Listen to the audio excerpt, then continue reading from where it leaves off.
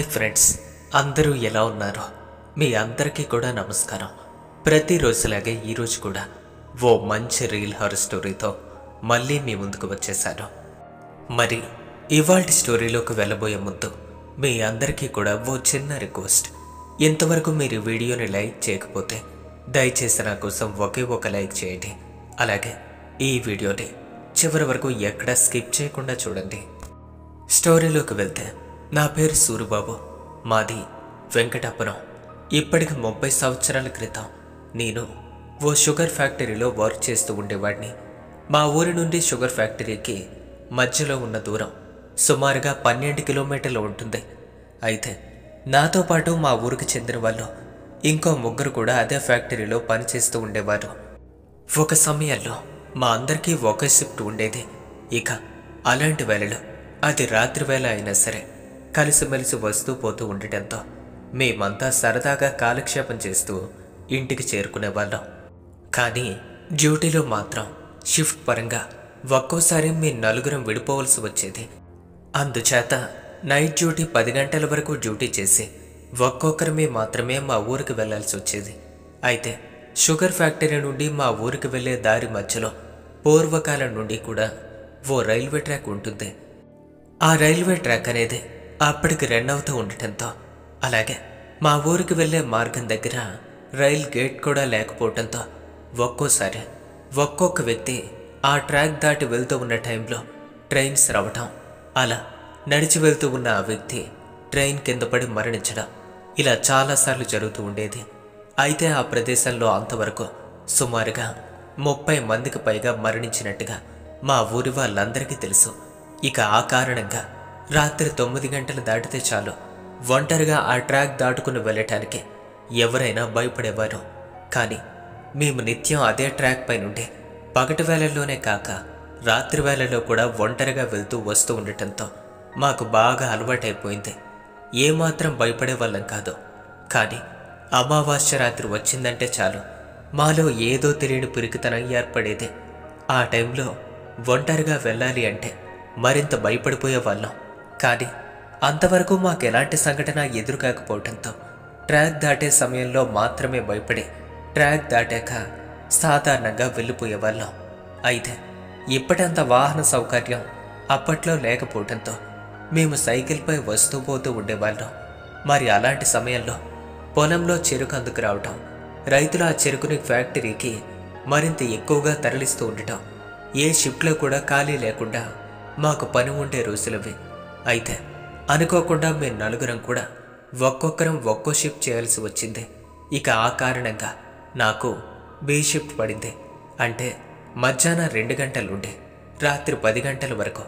ఇక ఆ రోజు మొదటి రోజు కావటంతో కాస్త ముందుగానే ఫ్యాక్టరీకి చేరుకోవాలని ఇంటి నుండి సైకిల్పై తొందరగా బయలుదేరి వెళ్ళబోతుండగా ఏమండి ఈరోజు అమావాస్య. పైగా రాత్రి మీరు ఒంటరిగా రావాలి. పోనీ ఈ ఒక్కరోజు మీరు డ్యూటీ పూర్తి చేశాక ఫ్యాక్టరీలోనే పడుకోండి. ఉదయాన్నే ఇంటికి రావచ్చు కదా అని చెప్పింది నా భార్య సుమతి.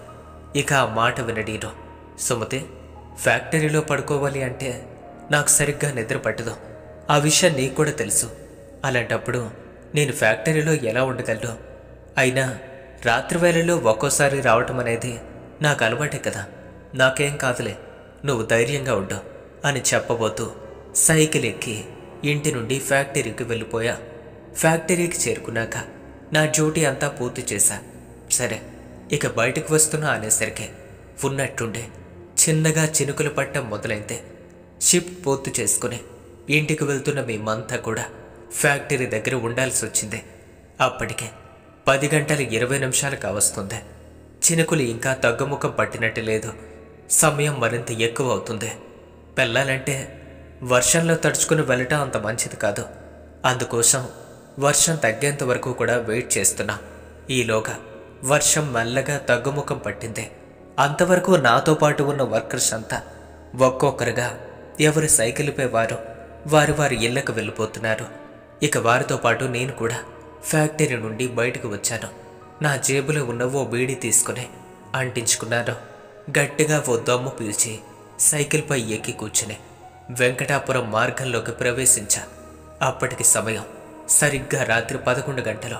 మా ఊరికి వెళ్ళే మార్గమంతా నిశ్శబ్దంగా ఉంది. ఎక్కడా జనసంచారం లేదు.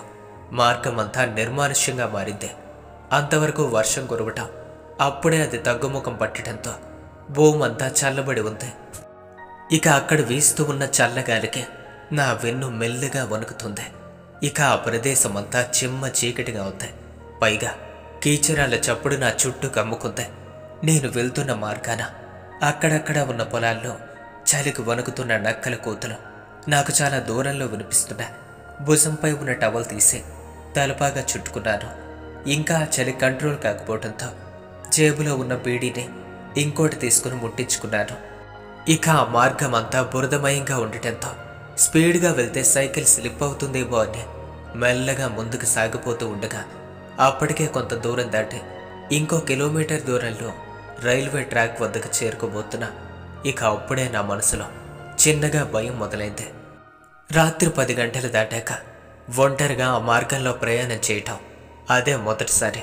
ఇక ఆ కారణం చేత అలా భయం వేస్తుందేమో అనుకున్నా కానీ ఆ భయం బయటపడకుండా నాకు నేనే ధైర్యం చెప్పుకొని నా చుట్టూ పరికిస్తూనే ఆ కటిక చీకట్లో మెల్లగా నా ప్రయాణం కొనసాగిస్తూ ముందుకు పోతున్నా.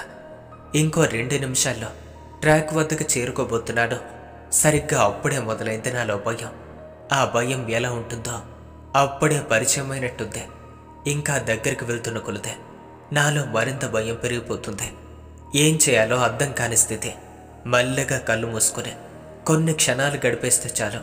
నేను ట్రాక్ దాటి అవతలకు వెళ్ళిపోవచ్చు అంటూ సైకిల్ హ్యాండిల్ గట్టిగా పట్టుకుని ఇరవై అడుగుల దూరంలో ఉన్న ట్రాక్ దాటాలన్న ప్రయత్నంలో ఒక్కసారిగా సైకిల్ ఫెడల్ గట్టిగా మట్టాలని చూసా అంతే సైకిల్ ఫెడల్ అలా మట్టానో లేదో నా బలమంతా దానిపై పడేసరికి ఒక్కసారిగా సైకిల్ చైన్ ఊడి క్రిందకు వేలాడింది అంతే అది చూసి నా గుండె జారి క్రింద పడ్డట్టయింది. అంతటి చల్లని వేళలో కూడా ఒళ్ళంతా చెమటలు పడుతున్నాయి. సైకిల్ పని ఉండి క్రిందకి దిగటానికి కూడా ధైర్యం లేదు. ఇంకా సైకిల్పై కూర్చుని ఉన్న నేను అంతా గాలిస్తున్న వేళ సుమారుగా పది అడుగుల దూరంలో ఉన్నటువంటి ట్రాక్ వైపు నా దృష్టి మరలింది. కళ్ళార్పకుండా చూస్తూ ఉన్న నా కళ్ళకు ఎవరో ఇద్దరు వ్యక్తులు నడుచుకుంటూ ట్రాక్ పై నుండి వెళ్తున్నట్టు కనిపించారు. ఇక ఆ దృశ్యం చూసి నా శరీరంపై రోమాలన్నీ నెక్కబడుచుకున్నా ఇద్దరు వ్యక్తులు ఈ టైంలో ట్రాక్ పై నడిచి రావటం అంటే ఎప్పుడు ఇలాంటి సంఘటన నాకు ఎదురు కాలేదు మరి ఈరోజు అలా అనిపించడానికి కారణమేంటి అని ఆలోచిస్తూ ఏమో ఒకవేళ ఎవరైనా మనుషులు వస్తున్నారేమో కదా అని కాస్త ధైర్యం తెచ్చుకున్నారు వారు ట్రాక్ పై నుండి నడుచుకుంటూ ఇంకా నాకు దగ్గరగా వస్తున్నారు. నేను కన్నార్పకుండా వారిని గమనిస్తూ ఉన్నాను. ఇద్దరు వ్యక్తులు ఒకరి చెయ్యి ఒకరు పట్టుకుని చకచకా నడుచుకుంటూ నాకు మరింత దగ్గరగా వచ్చేశారు. ఆ ఇద్దరూ ఒకే రంగు దుస్తుల్లో ఉన్నారు. పైగా ఇద్దరి దుస్తులు కూడా తెల్లగా కనిపించాయి. ఇక నాలో ఉన్న అనుమానం మరింత ఎక్కువైపోతుంది. సరాసరి ఇంకా దగ్గరగా చేరుకుంటున్నారు. నేను వారిని గమనిస్తూ ఉన్నా. టైం దగ్గర పడుతుంది. వారు కూడా నాకు మరింత దగ్గరగా వస్తున్నారు. నా కళ్ళు వారిని గమనిస్తూ ఉండగా అప్పుడే అప్పుడే వారి యొక్క రూపాలు నాకు చాలా క్లియర్గా కనిపించాయి. ఇక వారి రూపం చూసి నా శరీరంపై రోమాలు లేచి నిలబడ్డా తెల్లని దుస్తుల్లో ఉన్న ఆ రెండు ఆకారాలు అచ్చం మగవాళ్ళలా ఉన్నా సరే ఇద్దరికీ తలలు లేకపోవటం నాలో ఉన్న భయాన్ని మరింత పైకి లాగినట్టయింది. తల లేని ఆ రెండు ఆకారాలు ఒకదాని చెయ్యి ఒకటి పట్టుకుని చెరో ఒక రైలు పట్టాలపై నడుచుకుంటూ వస్తున్న దృశ్యం అది. నాలో ప్రవహిస్తూ ఉన్న రక్తం ఒక్కసారిగా వేడెక్కిపోయింది. ఒంట్లో నరాలన్నీ తెగిపడేలా చేసింది. ఆ దృశ్యం చూసిన నేను వెంటనే సైకిల్ పై నుండి క్రిందకు దూకే. కళ్ళార్పకుండా ఇంకా వాటినే చూస్తూ ఉండగా సరాసరి నాకెదురుగా చేరుకుని నా వంక చూస్తున్నట్టు రెండు ఆకారాలు అక్కడే నిలబడిపోయాయి. ఇక నా కాళ్ళు భూమిపై నిలవటం లేదు. నాకెదురుగా నిల్చుని ఉన్న ఆ రెండు ఆకారాలు మనిషి వలె నన్ను గమనిస్తూ ఉంటే నా అవయవాలన్నీ కూడా ఒక్కొక్కటి. స్పర్శను కోల్పోతున్నాయి. ఒక్కసారిగా ఆ ప్రదేశం అంతా చల్లని గాలి కమ్మేసింది. భూమిపై నిల్చుని ఉన్న నన్ను అమాంతం పైకి లేపినట్టు అనిపిస్తుంది. ఒకవైపు భయం ఇంకోవైపు దాహం. అప్పటికే నా గొంతు తడారిపోయింది. వణుకుతున్న శరీరం నన్ను కృంగతీస్తోంది. అక్కడ నుండి తప్పించుకోవాలని చూస్తున్నా. తలలేని ఆ రెండు మొండాలు కూడా ఇంకా అక్కడే నిలబడి ఉన్నాయి. నాలో భయం పెరిగిపోతూ ఉంది. క్షణ క్షణానికి ఏం జరుగుతుందో అన్న అనుమానం పెరుగుతుంది. ఒకవైపు వేగంగా కొట్టుకుంటున్న గుండె ఎప్పుడు ఆగిపోతుందా అన్న భయం. అలాగే అంతలో దూరంగా వినిపిస్తున్న నక్కల కోతలు నాకు దగ్గరగా వినిపిస్తున్నాయి ఇప్పుడు. ఈ భయానికి తోడు మరొక భయం కూడా చేరువైంది. శత్రువుకి శత్రువు తోడైనట్టుగా అనిపించింది. ఇక ఇదే ఆఖరి క్షణం అనుకున్నాను. ఇక్కడి నుండి బయటపడమనేదే కల అని అంటూనే ఆ రోజు మధ్యాహ్నం నా భార్య చెప్పిన మాటలు గుర్తు తెచ్చుకునే సుమతి ముందుగానే నాకు చెప్పింది. కానీ ఆమె మాటలు ఏమాత్రం పట్టించుకోకుండా నా మూర్ఖత్వంతో నన్ను నేనే చంపుకునేలా ఉన్నాను. నిజమే తన మాట విననందుకు నాకు ఇలానే జరగాలి అని నన్ను నేను నిందించుకుంటూనే విఫల ప్రయత్నం చేస్తూ ఉండగా వెతకపోయిన తీగ కాళ్ళకు తగిలినట్టుగా నా పాలిటి దయ వల్ల ఓ ట్రైన్ వస్తున్నట్టుగా కోత వినబడింది. అంతే ఆ మరుక్షణమే. ట్రైన్ యొక్క లైటింగ్ కూడా ఆ ప్రదేశంపై పడింది. చావు అంచుల వరకు వెళ్ళే నీరు మృత్యు గృహం నుండి బయటపడినట్టయింది. నాలో ఉన్న భయం కాస్త ఆవిరవుతుంటే ఉన్నపాటి కొద్ది ధైర్యానికి తోడుగా ఇంకాస్త ధైర్యాన్ని జోడించి నాకు భయం లేదు అన్నట్టుగా వాటెదురుగా నిలబడ్డారు. వాటిని చూస్తుంటా ట్రైన్ కోతతో పాటు లైటింగ్ కూడా నా చుట్టూ ప్రసరిస్తుంది. ప్రాణంపై ఆశలు వదలకుండా నీటు నాలో నీటు హరించుకుని ఉన్న శక్తినంతా కూడా తీసుకుని ట్రైన్ యొక్క రాక కోసం ఎదురు చూస్తూ ఉండగా వస్తున్నటువంటి ట్రైన్ అనేది గూడ్స్ కావటంతో దాని తాకిడికి ఆ ప్రదేశం అంతా అదిరిపోతుంది భూమి కంపిస్తుంది. అయినా సరే ఆ రెండు ఆకారాలు మాత్రం ఇంకా అక్కడి నుండి కదలటం లేదు. పైగా నేను కూడా ఆ ప్రదేశంలో నిలబడి ట్రైన్ కోసం ఎదురు చూస్తున్నా. ఆ గూడ్స్ సుమారుగా నాకు ఇంకో వంద మీటర్ల దూరంలో ఉంది. ఇంకా నా కళ్ళు దానికోసమే చూస్తూ ఉన్నా అది దగ్గరకు వస్తున్న కొలతే నాలో మరింత ధైర్యం పెరుగుతుంది. ఒంటికి పట్టు ఉన్న చెమటంతా క్రిందకు జారుతుంటే చల్లబడి ఉన్న నా దేహం మరింత వెచ్చగా మారింది. అంతవరకు శ్వాస తీయటానికి కూడా ఇబ్బందిగా ఉండడీలో వేగంగా శ్వాసను తీసుకోవటం మొదలుపెట్టా. అలాగే వేగంగా కొట్టుకున్న గుండె కుదిరి పడుతూ నరాలు తెగేలా ప్రవహిస్తూ ఉన్న రక్తం కాస్త నెమ్మదించింది. శరీర భాగాలన్నీ కూడా ఒక్కొక్కటే. నా వశమయ్యా. ట్రైన్ ఇంకా దగ్గరగా చేరుకుంటూ ఉంటే దాని వెలుగుతో ఆ ప్రదేశం అంతా నిండిందే. నా ప్రాణం నిలవాలంటే ఇదే సరైన టైం. ఈ తరుణం దాటిందో ఇక నాకు మరణం తప్పదు.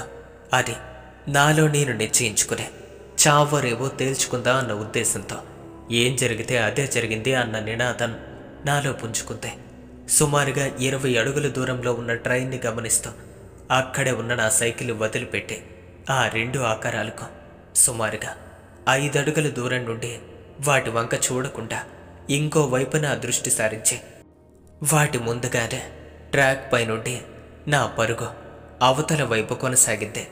నేను ట్రాక్ దాటి అవతలకు వెళ్ళానో లేదో సరిగ్గా అంతవరకు అక్కడే నిలబడి ఉన్నటువంటి ఆ రెండు ఆకారాలపైకి ట్రైన్ చేరుకుంది.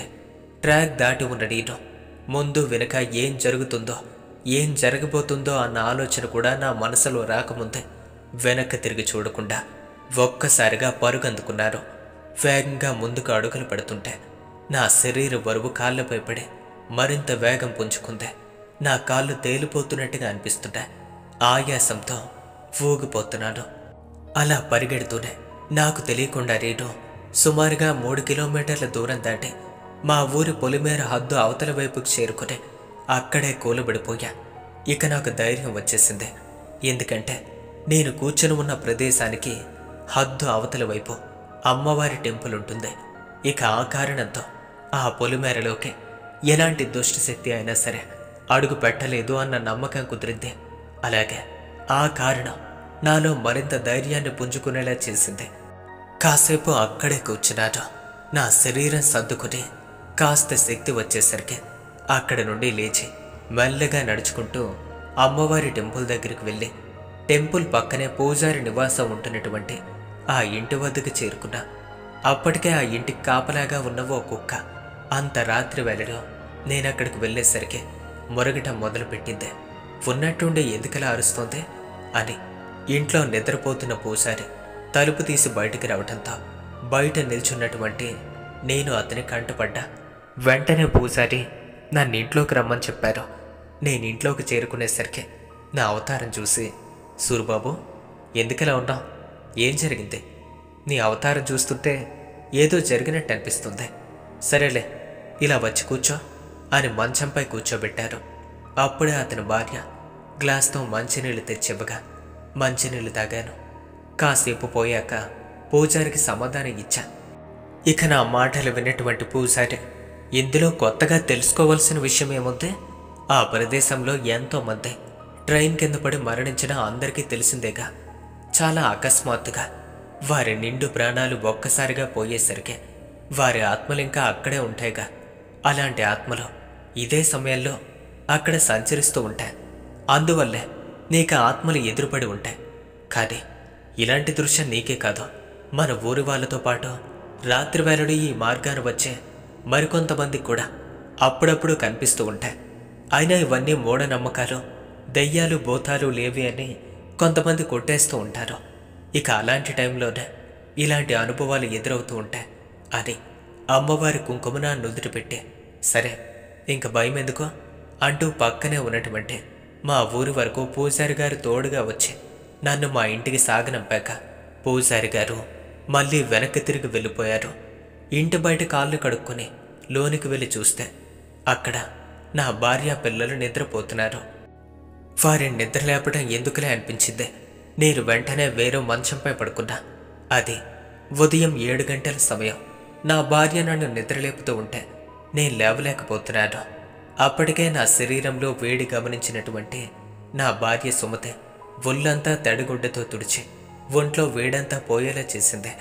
అయినా సరే మళ్ళీ జ్వరం వచ్చింది. మధ్యాహ్నం పన్నెండు గంటల వరకు పడుకుని ఉన్న నేను అప్పుడే పైకి లేవాలని చూస్తుంటే నా పక్కనే కూర్చుని ఉన్న సుమతి ఏమైందంటే? ఎప్పుడూ లేదే? ఇంత ఫేవర్ వచ్చింది? రాత్రి ఆ మార్గంలో ఎదురైన సంఘటన అంతా కూడా తనకు వివరంగా చెప్పాను. నీ మాట వినిపించుకోకుండా రావటంతో ఇదంతా జరిగిందే. నీ మాటే వినుంటే హాయిగా ఉండేవాడిని అని చెప్పగా సుమతి వెంటనే మా ఊరి ఆంజనేయ స్వామి వారి టెంపుల్కి వెళ్ళి పూజారికి అంతా చెప్పింది. ఒక రక్షణ తీసుకువచ్చి మెడలో కట్టగా కొద్ది క్షణాల్లో నాలో ఉన్న భయం పోయి నార్మల్గా మారాడు. అది చివర ఇంకెప్పుడు కూడా ఆ టైంలో ఒంటరిగా నేను ఆ మార్గంలో ప్రయాణం చేసేవాడిని కాదు. పైగా రాత్రి రావాల్సి వస్తే నా ప్రయాణం అక్కడే ఆపుకునే ఫ్యాక్టరీలో తెల్లవారే వరకు పడుకునే తర్వాత ఇంటికి వచ్చేవాడిని అని సూరిబాబు గారు తన జీవితంలో జరిగిన ఈ భయంకరమైన సంఘటనను మనతో పాటు షేర్ చేసుకున్నారు మరి మీ లైఫ్లో కూడా ఇలాంటి భయంకరమైన అనుభవాలు ఏమైనా జరిగి ఉంటే వాటిని స్క్రీన్పై కనిపిస్తూ ఉన్న మన ఫోన్ నెంబర్కి కాల్ లేదా వాట్సాప్ చేసి తెలుపగలరు. ఫ్రెండ్స్ ఈ వీడియో కనుక మీకు నచ్చినట్లయితే లైక్ చేయండి. ఇలాంటి మరిన్ని రియల్ హారర్ స్టోరీస్ కోసం ఇప్పుడే మన ఛానల్లో సబ్స్క్రైబ్ చేసుకోండి.